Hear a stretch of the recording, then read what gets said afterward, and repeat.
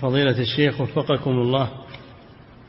يقول في هذا الوقت خرجت بعض الداعيات في الإذاعات المختلفة لعمل لقاءات معهن أو مداخلات في إبداء رأيها في بعض المواضيع المتعلقة بالنساء لأنهم يقولون إنهن أعرف بحال النساء.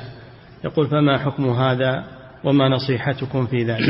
ظهورها على الشاشة غير متحجبة أو متبرجة هذا منكر حرام لا يجوز هذا.